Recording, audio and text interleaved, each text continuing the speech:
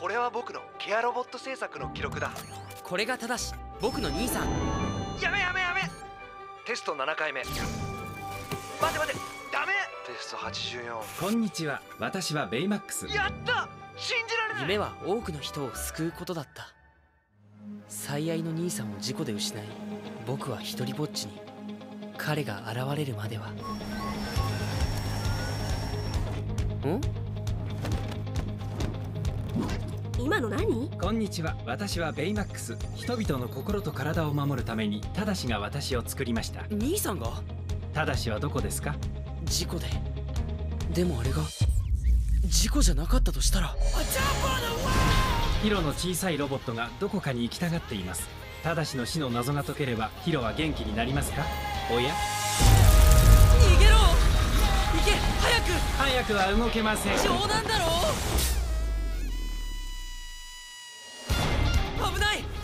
ただしは仲間よ。協力するわ。お前をバージョンアップしなきゃ。ケアロボットは戦うことはできません。飛べ。これをただしが望んだのでしょうか。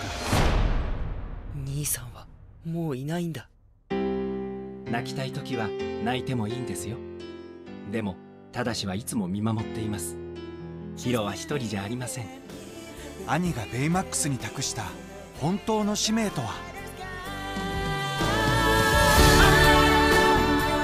よしよし。あら。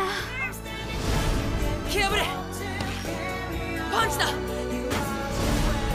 ベイマックス。ヒロ？ベイマック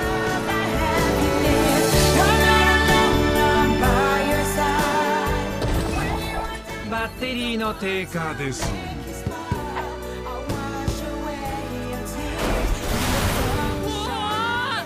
何があってもヒロあなたを守ります。ベイマックス。毛深い赤ちゃん。毛深い